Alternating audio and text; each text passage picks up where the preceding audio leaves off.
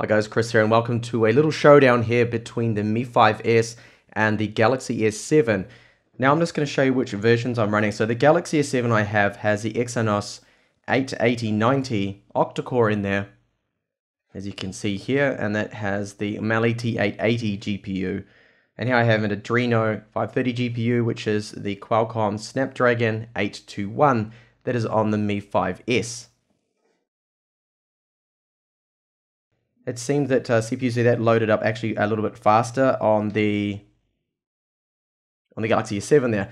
So what I'm going to do is just run through some apps here and we'll see which one loads up fastest. I'll also run some benchmarks at the same time, but I'm going to edit ahead so you don't have to sit through the whole lengthy process of those actual benchmarks there. So I'm going to get started now and what I've done, I've installed, I have, sorry, the latest firmware on both of these models. So they're both up to date, so there's no disadvantage there. Both of them are in flight mode with wireless enabled. So first up, I'm going to go into Geekbench 4. That pretty much loaded up at the same time, I think. So I'm going to run the benchmark now and show you the results.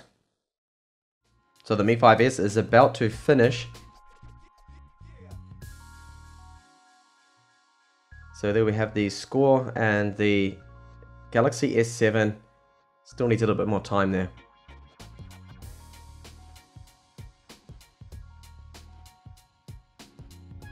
And you can see there that it gets a, a much higher score. So let's have a look now at Antutu 6.2.1.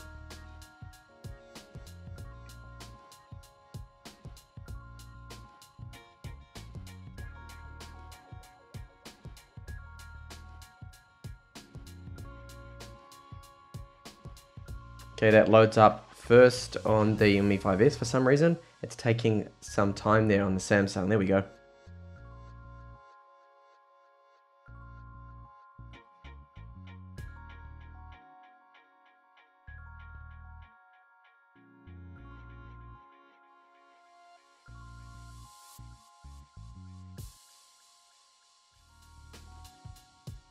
Okay, so they're almost neck and neck. The Galaxy S7 is slightly ahead here.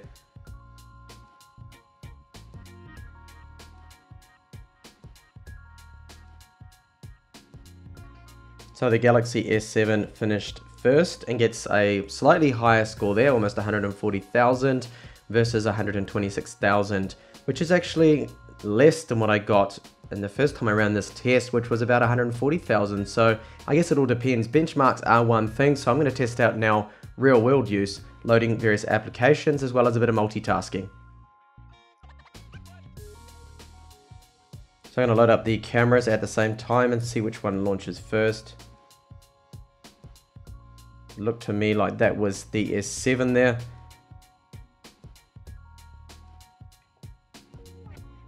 And I'm going to go into speed test, check out the wireless speeds. Now I'm going to have to run one after the other because I don't have two different networks to make the test fair. And now I'll try the Mi 5.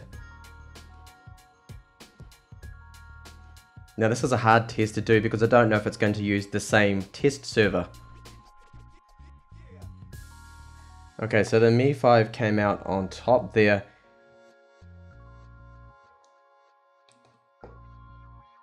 So load up Asphalt 8.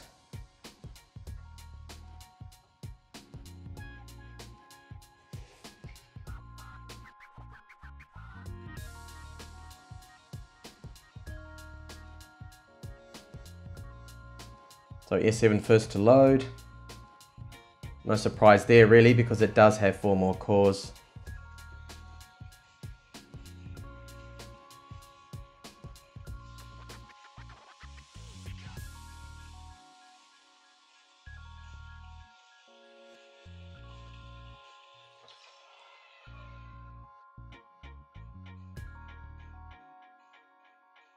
So Galaxy S7, very quick to load that.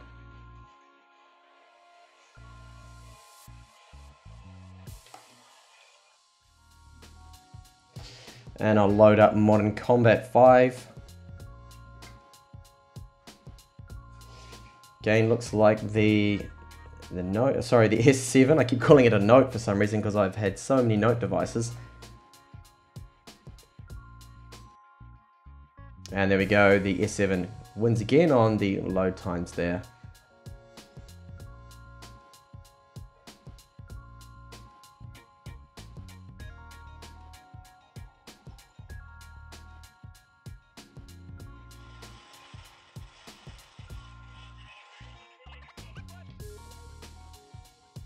Right, let's see how they multitask a little bit.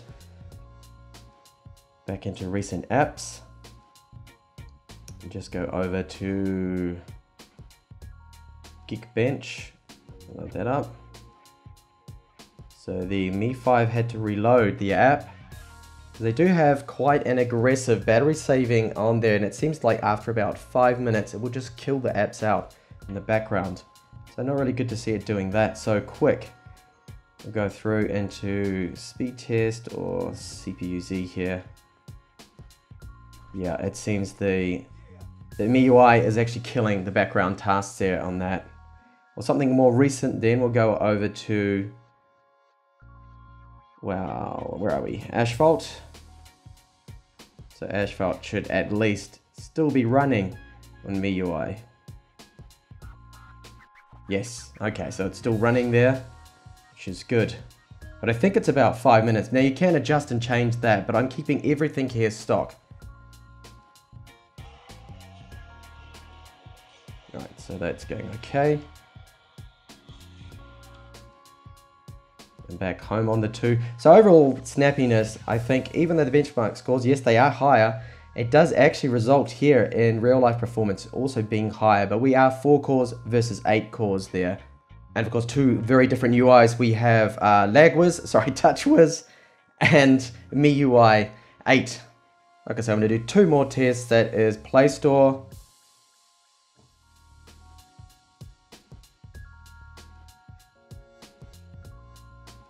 You see a bit of stutter there. That's while it's loading in all those icons.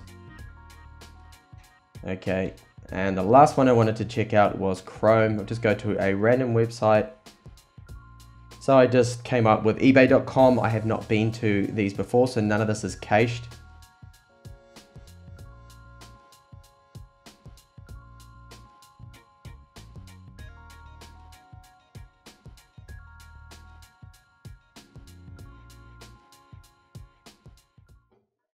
Okay, so there's a little speed comparison, a bit of benchmarks there and real life test between the Snapdragon 821 and the Exynos 8890. Thanks a lot for watching this clip. And if you haven't already, I do have a review of the Mi Find S. And I will have a camera comparison coming up between the Galaxy S7 and the Mi 5S here too as well, which was my main intention of buying the S7 was for the camera comparison. So it's 12 megapixels versus 12 megapixels. So hopefully I'll see you later on in some up and coming videos. Bye for now.